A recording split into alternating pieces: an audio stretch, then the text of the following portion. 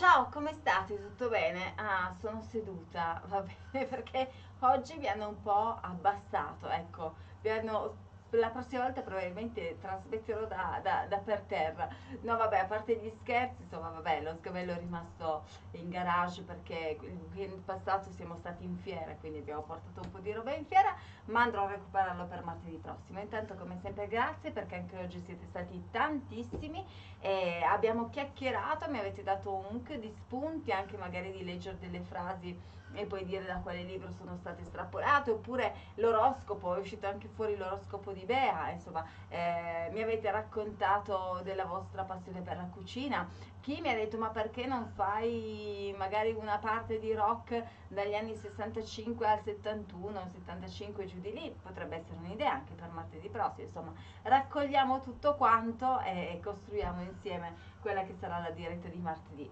Eh, quindi grazie, però oggi abbiamo anche ascoltato dei dischi nuovamente particolari perché poi nel nostro appuntamento ascoltiamo un po' di vinili. E siamo andati ad ascoltare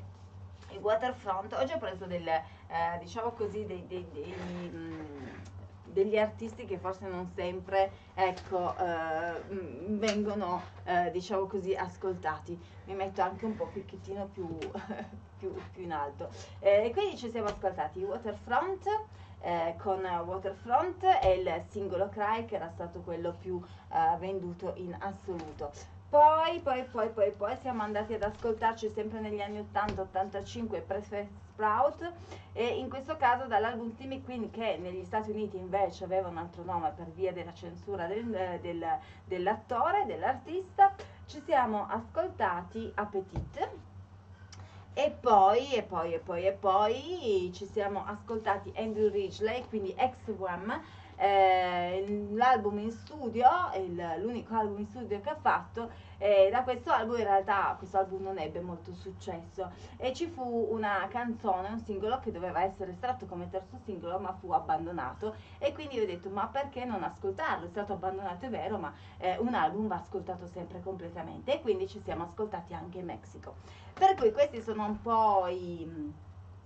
i singoli e gli album che abbiamo uh, passato quest'oggi e mi metto così perché non so più come stare. Quindi va bene vi ritrovo martedì prossimo come sempre qui e se avete voglia fate un salto anche sul canale Patreon Simona Non Solo Radio. È tutto. Ciao un abbraccio buona settimana e buon martedì